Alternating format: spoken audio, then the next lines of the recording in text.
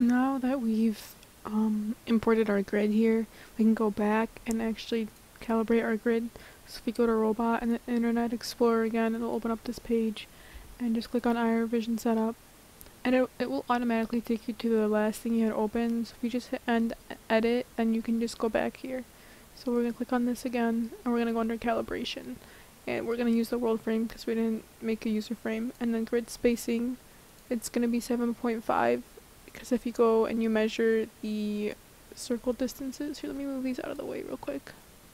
If you go back and you measure the circle distances between each circle here, so if we just go to click the measuring tool and we select the first point to be the edge of the circle here, and then we select the other one, it's just 7.5.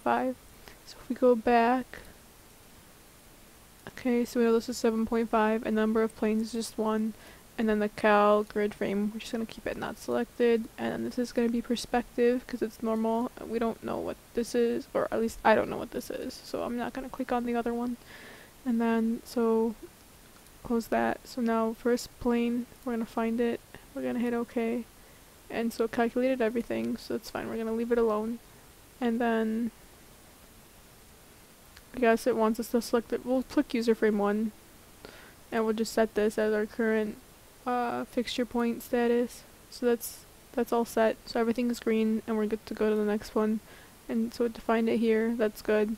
And then the calibration result, you can just look at it and test, or not test, but like look at it and double check to make sure that it works. And it does, clearly, because these are all marked right in the center of each circle. So we can click save now and end edit.